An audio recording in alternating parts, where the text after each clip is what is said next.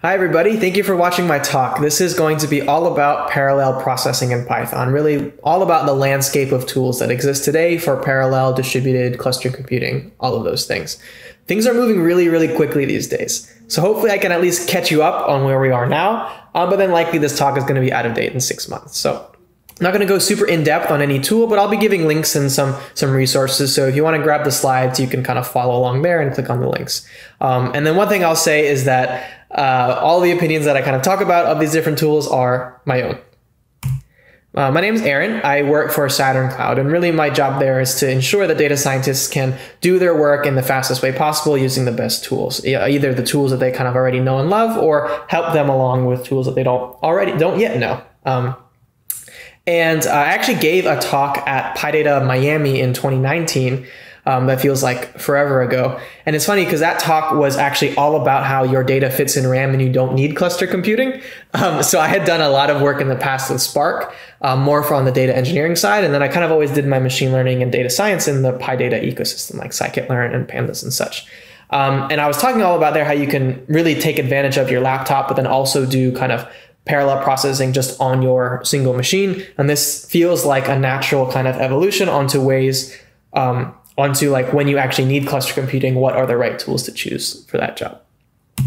So I work for Saturn Cloud. Full disclosure, we are we are a commercial offering centered around a couple of the tools that I'm going to be talking about uh, in my talk. So I'm going to try to give like kind of an unbiased and fair shake of the stuff, but inevitably it's going to be a little bit biased, and kind of all of these kinds of talks are a little bit biased. Anyway, I'm just telling you what my bias is. Um, so Saturn Cloud itself is an end-to-end data science and machine learning platform on the cloud. We just make it easy for data science teams and data scientists to kind of get going in Python and then get going scaling to clusters with Dask and GPUs with Rapids and things like that. So first, this is just like, why do we need parallel computing, right? Uh, we have this great, awesome PyData stack where we can do a lot of things, but a lot of these tools were historically built for single core, uh, in-memory type work. And that's really where a lot of these challenges come from. So like, you know, if you're ready to kind of analyze your data and get going, um, you know, you can use those tools fairly well. Um, and um, if you've seen any of my talks before, I am reusing the memes here. So apologies. It's kind of hard to find good memes these days, you know? Um, but anyway, you might run out of memory, right? That's the first thing. It's like, okay, well, now I need a cluster. I need a bigger machine because I'm out of memory. Or if you do get enough memory, your computing just takes forever. Um, and then you're either stuck waiting or now you have to find another solution. And then you end up feeling like this. So the, the entire idea is that from my talk is so that you don't feel like this and you feel empowered to choose the right tool for what you might need to do. So when would you need parallel processing? Similar to what we just went through is when you have a lot of data or you have a lot of computations that you need to run uh, or both. So I, I do want to caveat this, and this relates a little bit to my previous PyData Miami talk, is that you shouldn't do cluster computing or parallel computing unless you have to. If everything works just fine on your laptop in Pandas, NumPy, and that kind of world, stay there. There's no reason to learn something else. Um, if you start to hit boundary, if you start to kind of hit the walls of that, um, you can actually use most of these tools that I'm talking about today on your laptop or on a single machine. It's a lot less infrastructure to manage than a cluster. Same way, you can kind of bump that up to a pretty big machine in the cloud, still on a single machine. Um, and then really when you need to take advantage of a lot of resources, you can then do a cluster on the cloud. And then you can kind of mix and match depending on specific workloads. You can do it on a cluster here or do it on a single machine there. So this is really what we're talking about, and try to say this five times fast. Py Python packages for parallel processing. I can barely even say it, uh, but that's what we're going through today. Uh, a few different packages. I'll start with just kind of giving you an overview of the land and the world that we're kind of coming from. Is again, we're starting from this kind of PyData single machine type work. These are just kind of representative packages for the types of workloads you might do. So data frames, arrays, machine learning, and deep learning. Not an exhaustive list.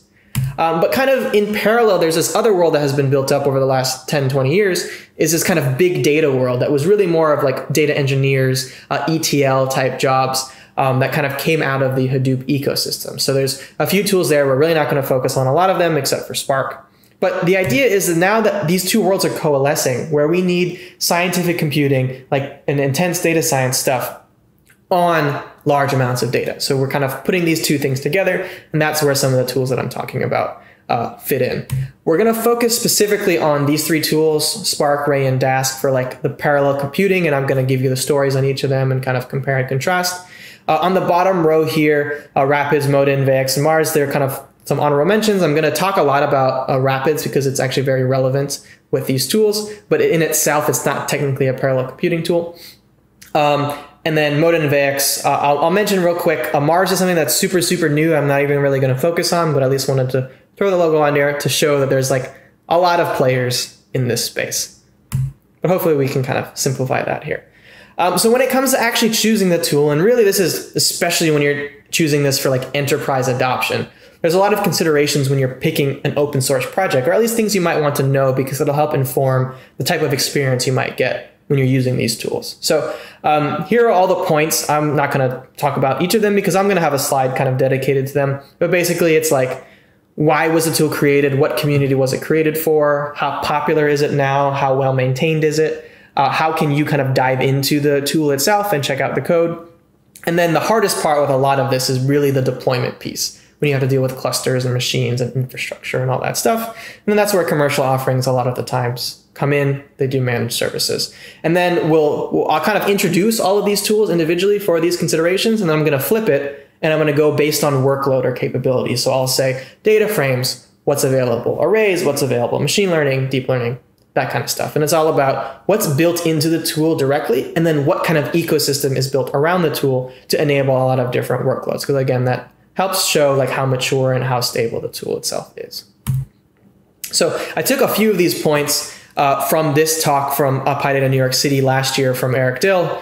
And he gave a great talk kind of doing something similar specifically for Spark versus Dask and Rapid. So I'm kind of pulling in right here. I'm pulling in some of my own opinions and then also giving it a quick update because that talk was a year ago. So again, this makes this space moves really fast. So it's a bit outdated now.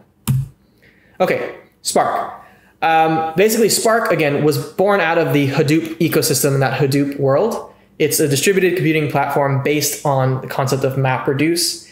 And it was, again, created for like large scale analytics, ETL, things that data engineers would do. And it's the oldest tool that we're talking about um, here. When it comes to Dask, Dask is a, again, distributed computing tool. These all are, but it's based on task scheduling, of low level task scheduling. So it's a different paradigm than MapReduce, where you kind of map over a list and then kind of reduce individually. This is actually parallelizing individual units of work. And the reason this was created was specifically to scale Python code and Python packages. It was born and created at Anaconda, specifically so that you can ex- so that people could accelerate Python packages. So that community that's been built up around it, you'll see the difference there. Um, so specifically for Python. Uh, Ray is here, actually came out of the same research lab that created Spark. I think they changed names, but it's the same lab, a lot of uh, some of the same professors and people involved. Um, the low level of kind of task paradigm is very similar to Dask. It introduced the concept of actors, which I'll get into. Um, but Dask and Ray, there's actually this uh, thread on GitHub where the, the creators will actually talk about the differences. The main things might were that actor thing, uh, and then just some nuances of how the task scheduling works for each of these tools. But I believe that Ray was originally and initially built for like distributing deep learning applications. And I put that in a question mark only because I am the least familiar with Ray of all these tools, just letting you know, because I think I've been, the deep learning is the community I've been kind of less connected to as opposed to like data engineering, Spark, and, and, and data science with Dask and things like that. Okay, so here's a slide of just all of them so you can kind of see all the logos and see the whole story for all of them. Um, I do need to mention one other tool, and that's Rapids, because Rapids itself, the core of what Rapids is, is pushing data science workloads to the GPU. So it's packages, it's packages for data frames, arrays, machine learning, where now instead of executing on CPUs like all the other packages do, it'll actually execute way, way faster on a GPU. And it's really exciting. So I would definitely check out Rapids. It's, it's a cool package. It's really mind blowing some of the performance speedups you get.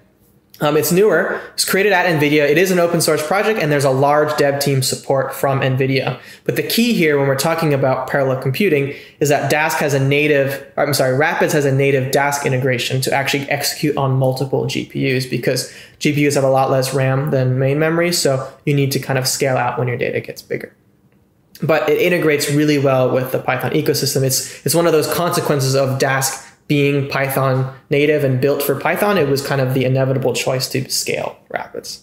So when I'm talking about Dask, think about Rapids as kind of coming alongside with Dask as well in a lot of these places. And if you want more about Dask, another PyData talk, Um, Keith Kraus is uh, one of the maintainers of Rapids, uh, specifically the data frame package, I believe. Um, and he gave an awesome talk on just like all things Rapids. If you don't know anything about it, watch this talk. You'll be convinced that GPUs are the future, and you'll be convinced that uh, Rapids is a great package, and Dask with it is is good too.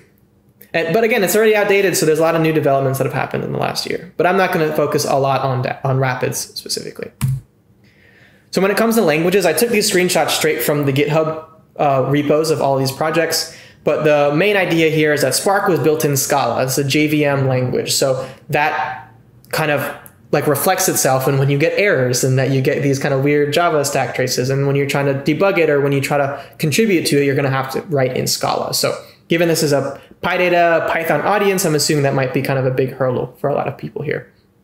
Dask you can see here is 100% or 99.9%. I don't know what the other 0.1 is, Python. Built in Python, API for Python. Uh, Ray, its main API is Python and it integrates with a lot of the Python packages. There is some code there kind of built in C++ and some other things, so might be a little bit more uh, kind of hurdle to contribute if you want to. Uh, popularity, so I don't want to look at GitHub stars, I don't think that's the best metric. Um, so when I think of like how popular is a person, I'll go check their Twitter or their Instagram. How many followers do they have? So maybe the same thing works for open source Python packages. I don't know. Well, um, so Spark here has like 30,000 followers. Again, it's the oldest tool. You see that this account was created four years before Dask. Dask has around 6,000 and Ray has like 1,400. So that kind of gives you some relative idea of popularity, maybe. Um, but I have a, a, better, more scientific metric here, uh, which is PyPI stats. So this is pip install package, like how many times does that happen? So it doesn't necessarily mean a net new user or a specific individual. It probably means more of automated jobs doing pip installs like daily or on some other schedule. But it still gives a good relative comparison of how popular tool, the tool is because if a tool is kind of being used daily for a job that's always pip installing, then it's probably being used a lot and it's probably popular. So Spark here has the most at 7 million, Dask at almost one and a half, and then Ray's uh, there at 200,000. So this is as of October 2020, but hopefully that gives you, again, like a relative idea uh, of the popularity. Um, and then Spark and Dask specifically were part of the uh, Python developer survey in 2019 that JetBrains did. And this is of all Python users. So not even just data science, like web, DevOps, like all Python users. 13% of them said they use Spark, and then 5% of them said they use Dask, which shows that there's like a big group of people actually using these tools. Like 5% of all Python users using Dask is like a good significant number. Uh, Ray wasn't on the survey, probably again because it's like newer and not as popular. Uh, maybe it'll be in a future one. Okay, so as far as native capabilities, there's there's a lot here going on, but the idea is like you know if there's a specific thing that you do and that you focus on, or like a handful of them, this list might give you a good idea of like which tool might be the right thing to choose. So for Spark, I say the most popular capabilities of Spark are the data frames and SQL, and then I think some people use the machine learning. I kind of recommend uh, not to. Um, and then Dask is all the way from like low level task parallelization. You can parallelize just like arbitrary code all the way up to data frames, arrays, uh, and machine learning. And then Ray, you can kind of see the difference on the different um, kind of applications that Ray's been focused on is really all, a lot around deep learning, reinforcement learning, distributing deep learning training, um, model serving, and things like that. And then the kind of custom API is similar again to Dask, where you can do individual tasks, and then it introduced this kind of actors API.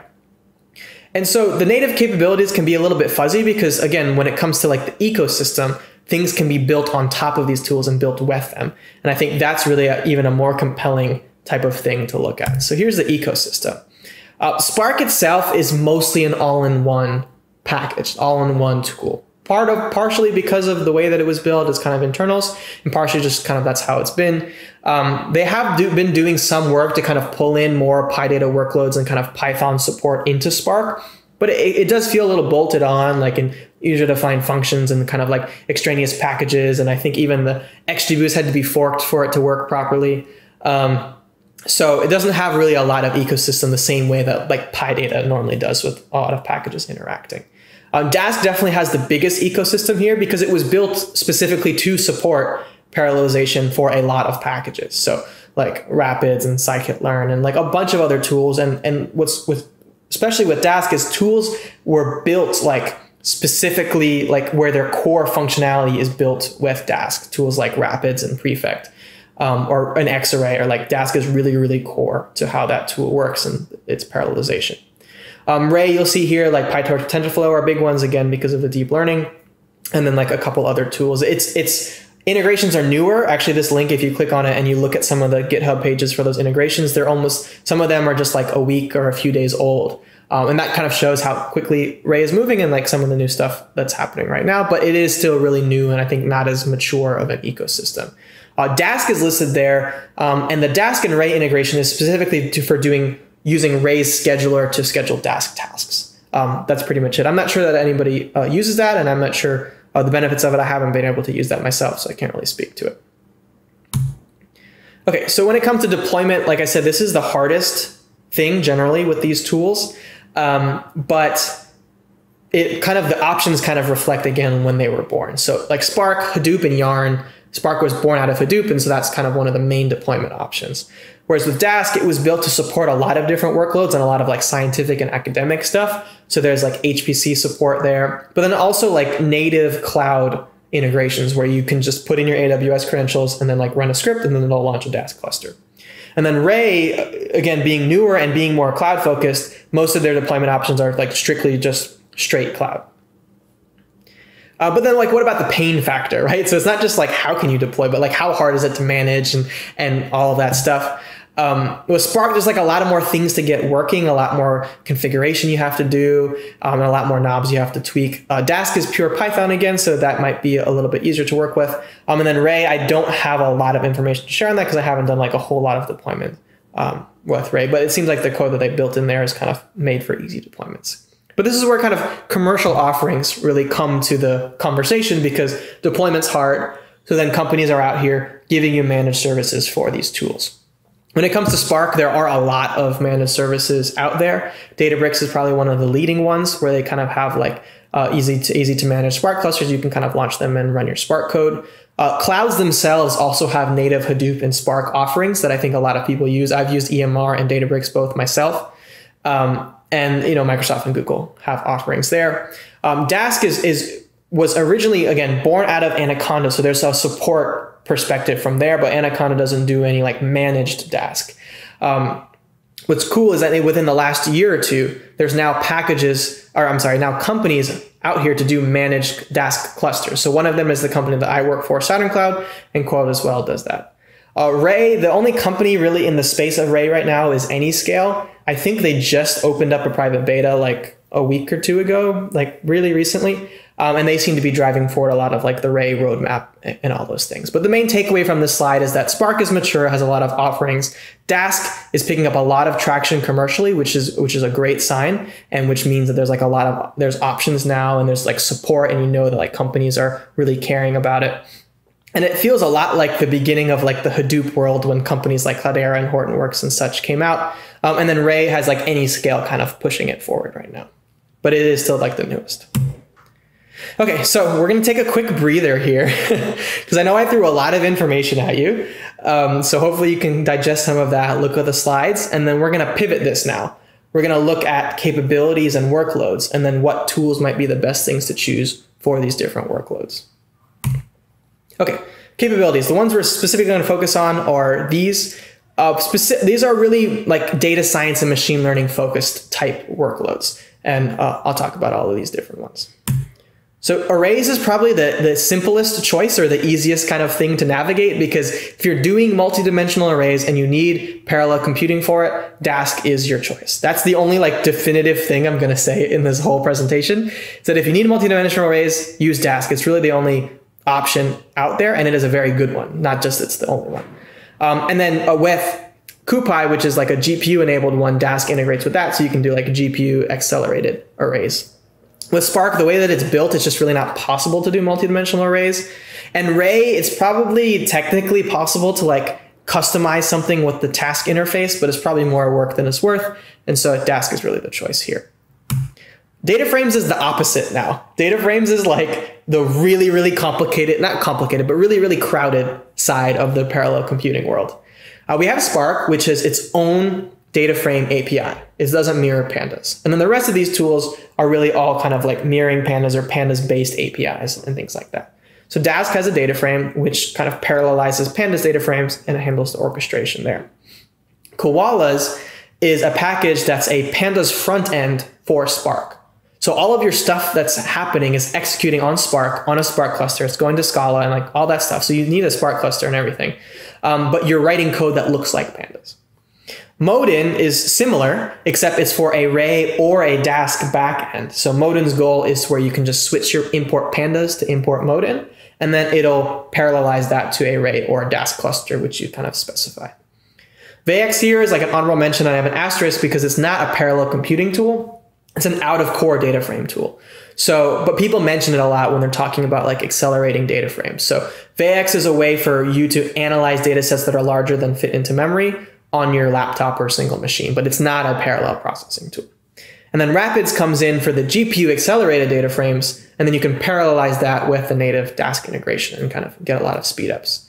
IBIS here is a good thing to mention too, which is not pandas based. It's a data frame API that's more SQL kind of focused, but it's meant to have like different interchangeable backends. So like Postgres or Snowflake or anything like that, but your code is like a data frame API.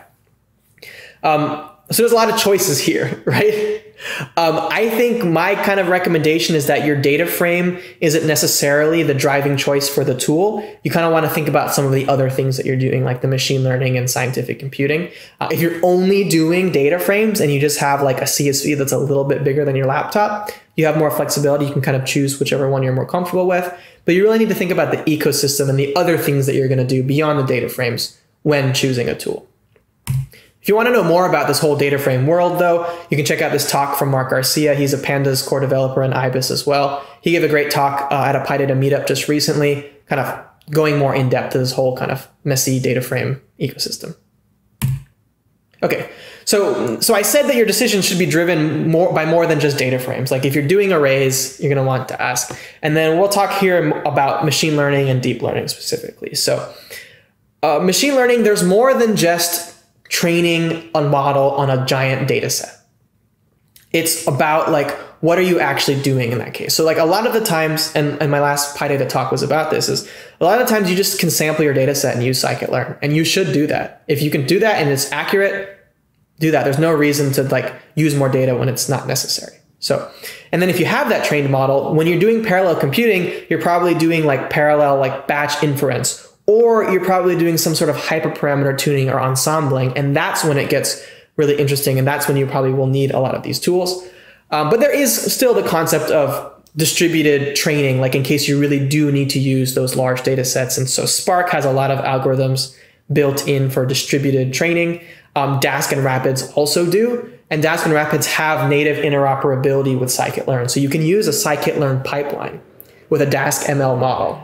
And that way you're not kind of having to relearn again like a new tool, whereas Spark's ML package is a, a completely new API that you would have to learn. Um, when it comes to batch inference, these all these tools can really do batch inference because you're just wrapping um, model that predict in some sort of cluster kind of orchestration type thing. So with Dask delayed or even like a Spark UDF or something like that, you can you can pretty much get away with batch inference pretty easily with all of these tools.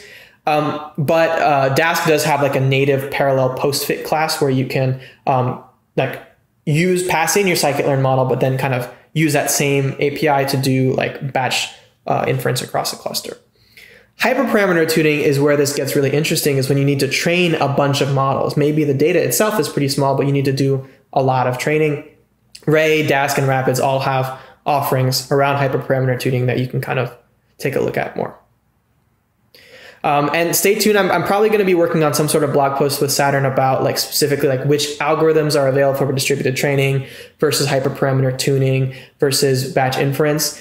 And well, we'll go into a lot more details specifically on which tool has which. But uh, as far as the distributed training, um, Spark and Dask and Rapids cover pretty like very similar algorithms. Uh, whereas Ray doesn't really have a lot of distributed training specifically for machine learning. Their focus is more on deep learning, like I'll show you. Um, so, so actually, uh, one thing that you'll see in all of these tools have a joblib backend. So what this means is scikit-learn has this API that uses JobLib for managing like parallel training. So scikit-learn does parallel training like through a grid search or random forest, but built in it's just on a single machine. It'll use all the cores in your machine. All of these tools, Dask, Ray, and Spark, all have interfaces for a JobLib backend, which will just take that training and now parallelize it across your cluster. The key here, though, is that your data has to still fit in memory of your client machine. It's not like a truly distributed training where you can kind of pull in chunks of the data automatically and then distribute from there because you'll have to actually pull it through scikit-learn and then it gets distributed out. So this is useful for those like big compute scenarios where you kind of just need to distribute a lot of things like a random forest or like a grid search. Um, that's kind of how you would. And here's just examples of how you might do it. It's, it's all very similar. You just tell it a, a different JobLib backend with the, with the context manager. Okay, so when it comes to now tree ensembles, and this is specifically like XGBoost is mostly what I'm focusing on, and then as well LightGBM. XGBoost has ways to parallelize model training with all of these tools. Uh, Spark, it's a little clunkier. I, I think this XGBoost 4J Spark package, I, I've tried to get it working with Python. I haven't had a lot of success. Uh, Rapids as well has some stuff integrated with Spark to do XGBoost, but I think it's required some like private forks to get it working. So uh, it's not like a super native integration. Um, Dask itself, actually the XGBoost package, if you go to the XGBoost docs, uh, docs, you'll see a section about how to parallelize training with Dask specifically. So there's a really, really tight native integration there. Um, there is a Dask LightGBM package, and we at Saturn actually, uh, one of my colleagues there is actually working specifically on putting that natively into the LightGBM package where you can use Dask directly from there. And you can also do Dask and Rapids for the GPU computing, like shown there, which is again native to the XGBoost package. So Dask is really, really tightly coupled into that. Uh, Ray has a super new package called XGBoost Ray to do like the parallelization with Ray. Um, I, I, again, it's super new, so I haven't had a chance to use it, but maybe that's something to watch out for if you're interested in that. Okay, so when it comes to deep learning here, um, I think again, Ray I think was initially built for a lot of this kind of deep learning type work. So you'll see more of its high level interfaces focusing on that. So like distributed training with PyTorch and TensorFlow, uh, hyperparameter tuning, and reinforcement learning. You can kind of check out those different libraries uh, and see how Ray works with that. Um, Dask, the distributed like inference is a pretty straightforward exercise with Dask. We're actually working on a blog post at Saturn uh, to kind of illustrating that with TensorFlow or PyTorch, um, because you kind of just can wrap in a delayed function doing inference. And, and training is also possible. There aren't currently native integrations with PyTorch and TensorFlow for Dask. We are at Saturn specifically working on one. Uh, we're working on PyTorch first. Um, so kind of you know stay tuned on that. We're working on that kind of native integration. But Dask does integrate from the more of the inference and hyperparameter tuning side, not the training, with um, the kind of scikit-learn API packages around PyTorch and TensorFlow, so Skorch and Scikeras. If you use those tools, it's actually pretty straightforward, and there's Dask docs for how to actually parallelize across a cluster of GPUs. That's probably mostly for hyperparameter tuning or maybe inference if you're using the scikit-learn APIs with these um, with these deep learning tools. Okay, so that was a lot of stuff. so I'm hoping I at least gave you a little bit of insight onto like the different workloads and which tools might use. But then maybe, you know, maybe you're like me. When I go to talk like this, I want somebody to just tell me what to choose. Like, just tell me which package I need to use, please. Like, there's too many choices. Well, I'm not going to completely do that. I'm just going to kind of give you some candid opinions on each of the tools, and hopefully that can kind of help you. And if you want to kind of talk about this more, find me in GatherTown or like hit me up on Twitter or something and we can chat more about this. So, uh, first, Spark. I'm just going to kind of give you my opinions. I think if you're doing stuff like already in Spark in the kind of just data engineering world of mostly SQL esque type work and transformations, um, and you're not really doing a lot of machine learning, you're not doing a lot of data science specifically, um, Spark is probably still like a good choice for that if you're if you're doing that, especially if you already use it. It can be challenging with debugging Scala um, and cluster management and deployment. So those are still reasons that I would think even if you're only doing that stuff, you might want to consider another tool. Um, but if you're doing like a lot of machine learning, if you're doing deep learning, scientific computing, if you have a lot of code already written in the PyData ecosystem, Spark is probably not the best choice for that because you're going to have to rewrite a lot of your stuff. You're going to have to deal with the JVM, and probably some things that you might want to do won't even be possible.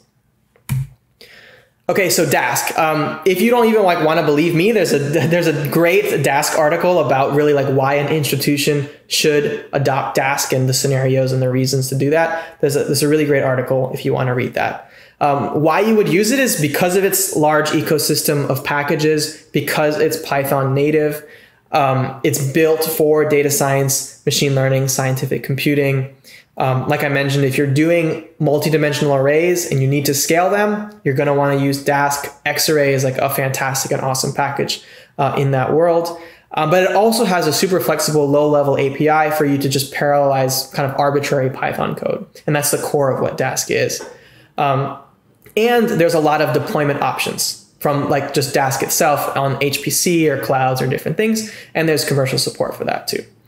Um, reasons that you might not use Dask, maybe if all of your work is like pure SQL type transformations, um, you might be better off using another tool. And then maybe not even Spark in that case. You might be better off using like a database like Snowflake or um, some other type of like pure SQL uh, work. So Ray, so why Ray? I'd say Ray was built up a lot for a lot of deep learning features. Um, so if that's like if that's all that you do and like all that you're interested in for cluster computing, Ray might be something that you would want to look at.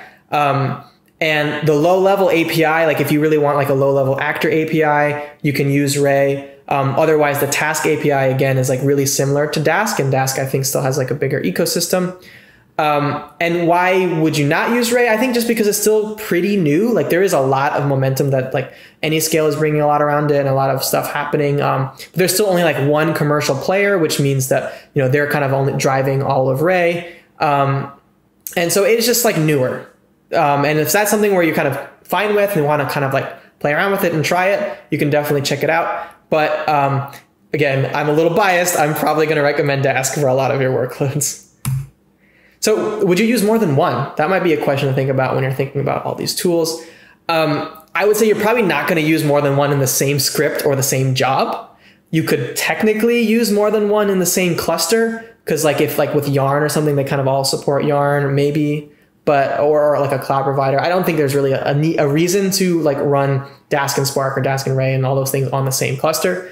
Uh, but across an enterprise, I could see potentially uh, like an organization using more than one tool. Like if they have a lot of data engineering already built up in Spark, but they now need to parallelize a lot of their data science, they might use Dask or like deep learning stuff with Ray. Um, again, I, I, think the most flexible option for like smaller teams and organizations that kind of need to do a wide, a wide variety of work uh, is Dask. And then really, if you want to do like GPU acceleration with Rapids, Dask is really your choice because um, that has really the best uh, integration with it there. And that's it. Um, so again, thank you for watching. I know I threw a lot of information at you. So if you want a little bit to you know talk a little bit more, chat a little bit more, you have specific workloads that you're thinking about, you need to parallelize. I would love to talk with you if you find me in Gathered Town or send me an email, find me on Twitter. Uh, we also do have a, a Slack community uh, for Saturn Cloud, so you can kind of jump in there, find me, or like just post on the chat. It's you know open community talking about all things Python and parallel computing and everything. Um, and if you do want to try Saturn Cloud, if like you're really kind of convinced about Dask and Rapids, we have like a free hosted. Oh, we have a hosted product where you can get a free trial on there, and it's kind of just like a pay-as-you-go thing. You don't even have to install it in any of your clouds or anything like that. Or if you need an enterprise solution, we do have one that you can install into your uh, kind of cloud account. But um, again, thank you for watching. I hope this didn't create more confusion. It might have, but hopefully at least you are now familiar with the names of the packages, what they do, what they don't do, and then that'll help drive your future research and adoption. But again, reach out if you have any questions. Thank you.